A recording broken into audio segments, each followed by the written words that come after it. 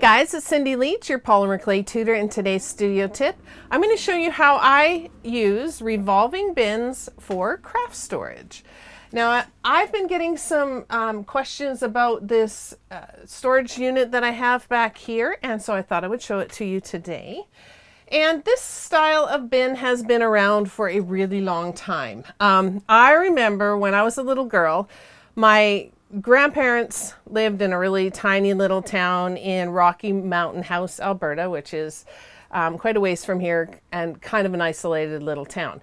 And my grandparents had, or my grandpa had a, a garage or like a, um, a gas station with a like automotive service thing.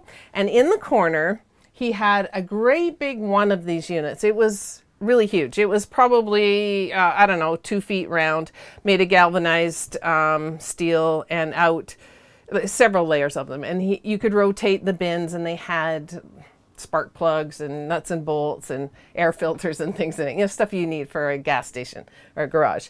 And um, so I, have been familiar with this style of thing, you know, it, it, having it in a garage or whatever. And then a little while ago, Tim Holtz came out with a new unit. I'll just show you a picture of it here. It's called um, a supply spinner, and he put his, you know, alcohol inks and different things in it. And I fell in love with it. It just brought back all those memories of being a kid at Grandpa's garage.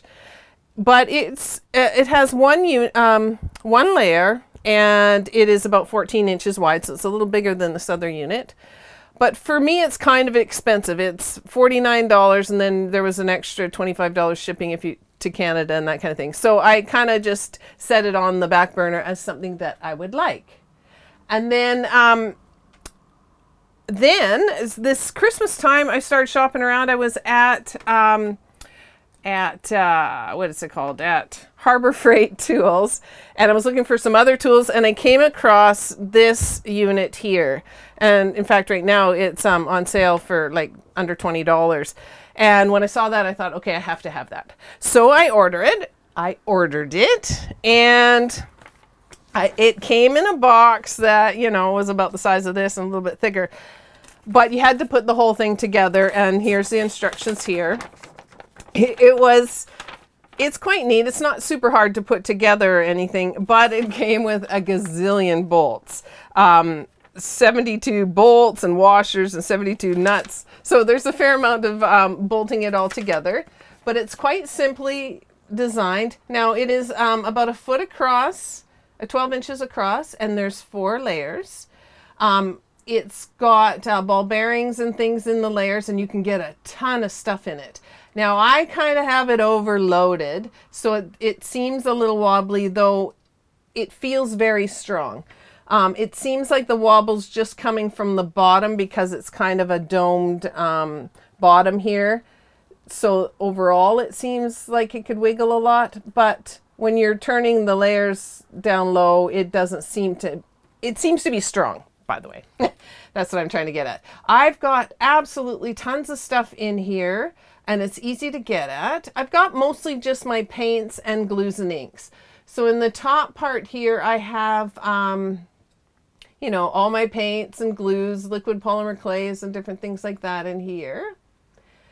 And then in this layer here, I've got um, alcohol inks. I've got all my pinata inks. I've got a bunch of those I've got to show you yet. I've got a bunch of new colors and stuff. Um, some different inks and distress stains and stuff.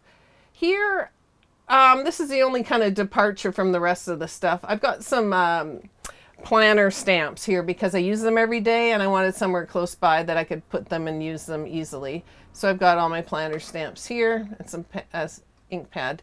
And then some jewelry glazes, uh, different things like uh, Gilder's paste. And then here I've got my block printing inks, um, my Lumiere paints. So there's a lot in here. These things come in different sections. The you can put them in whatever order you want, but there's two two racks have um, four sections and two racks have six sections. So the, this one here is the four section one, and then this one here is the six sections. And I'll just pop these out of here so you can see. These are the heavy jars of um, screen printing ink I've got in here, and I've got quite a few. Got five of them in there. Could probably fit one more. But the way it's structured is um, it comes with all these different pieces. You bolt them together. And uh, I don't know if Doug will be able to see in here that well, but in the back there you can see where the bolts are. And um, you just have to kind of use a screwdriver and you know put the bolt, the washer, and the and the nut underneath. Then the whole thing is stacked on a on a pole that has these little bear bearing, ball bearings and things. It, it works beautifully. So I really like this kind of industrial look. It brings back a lot of memories.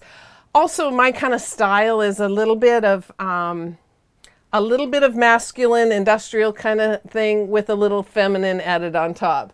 So I quite like it in this black version, but I've seen um, on YouTube and stuff where people have painted them out and they've painted them white or whatever they wanted to, or given them kind of a shabby chic or um, it, you know, colored look to it or something like that. So you could do that. But as you can see, they're really inexpensive um, if you pick them up at a place like Harbor Freight, but it'll take you a while to put it together. It took me about an hour and I had to make sure I didn't lose any of the bolts and that kind of thing, but it was fun.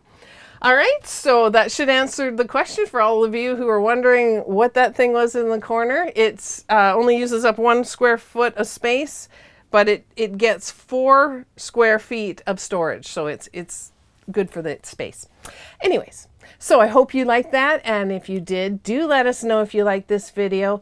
If you've seen something on my desk that you would like me to describe or explain to you, go ahead and, and make a suggestion in the comment section below. Also, if you have tips, techniques, products, books, anything that you would like me to go further into and we don't, and you haven't found a video that we've done one on yet on that subject, then make sure to leave those suggestions as well. All right. So we'll see you next time and bye for now.